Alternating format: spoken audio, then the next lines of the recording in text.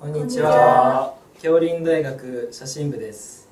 私たちは毎日ほのぼのと活動しています、えー活動内容は写真展を開いたり動物園などに撮影会に行ったりしています。もしよかったら皆さんも来てください。私たちと一緒に新しい思い出を作りませんか？みんなの入部を待ってます。って言ってください。待ってます。出ます。で も